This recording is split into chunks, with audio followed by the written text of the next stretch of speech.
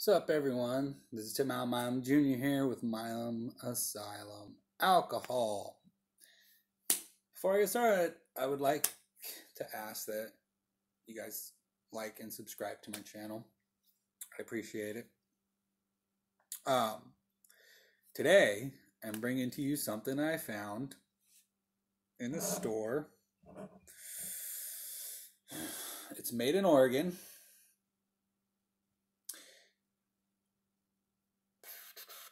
503 cocktails.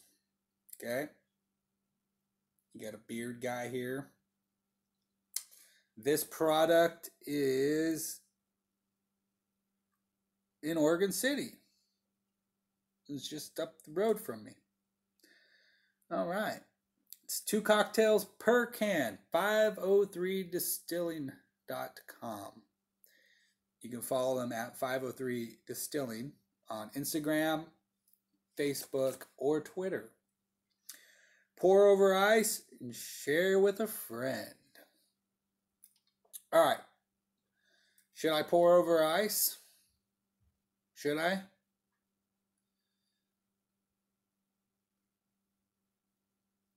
Nah, they're they're cold enough. All right. This is 14% alcohol per volume in this can. So it's kind of high. It's a vodka ginger beer lime. So the Wicked Mule is what this one is called. Um. So 503 cocktails. Um, I kind of wish that they would have made put their brand more uh,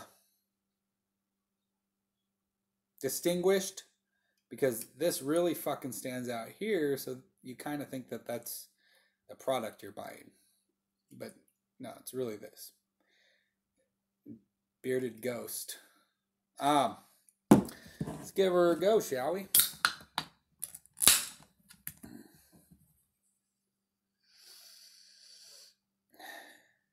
Smells spicy. Very spicy.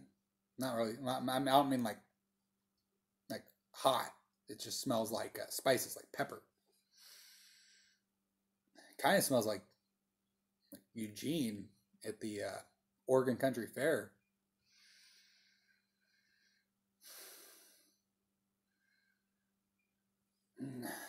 Well,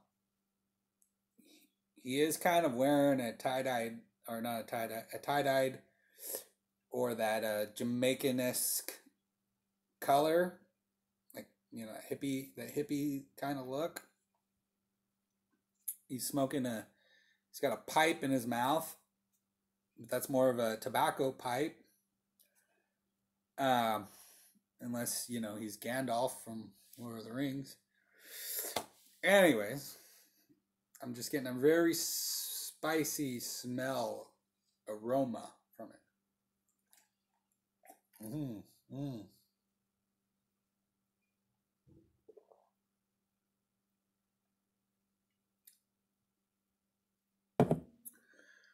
not what I not what I was expecting. I don't know what I was expecting, but that one really that one snuck up on me. Uh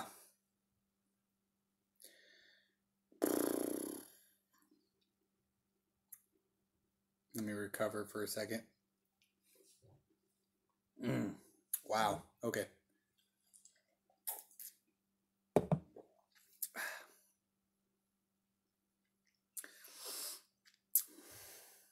So I taste ginger. I can taste the lime. I don't taste vodka or beer. And that spice smell I was that spice smell I am not tasting it. Um, wow. It's it's it's it's a shock to your mouth, and you almost want to spit it out. Um,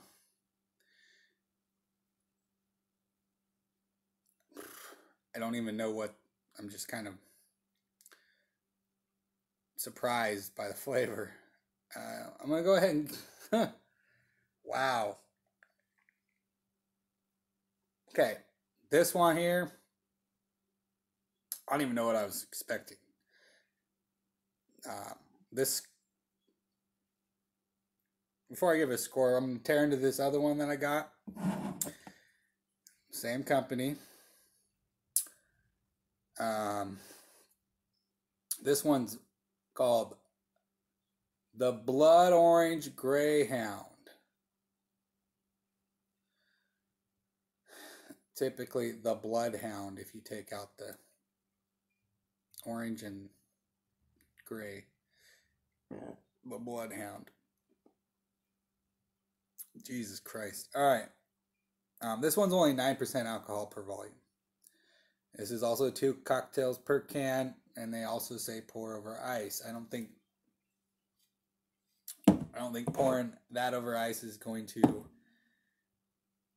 fix the flavor. I'm gonna taste them both. I'm gonna give them a score together. Um, just to be fair here.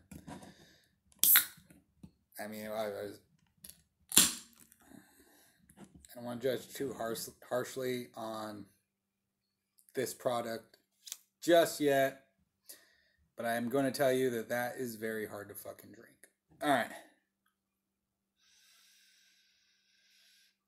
Okay, I can smell this the orange. It smells like a freshly peeled um, cutie, like a mini tanger, tangerine. Mm. That's all. That's all the smell that I'm getting. I'm almost afraid to, to taste it after that one. Anyways.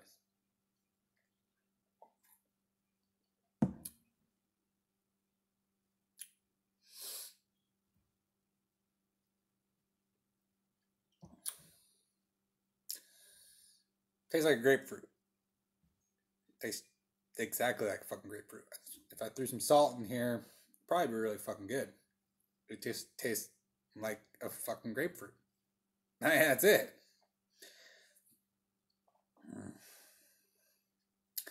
I'm gonna give these products together a solid score of five. Um,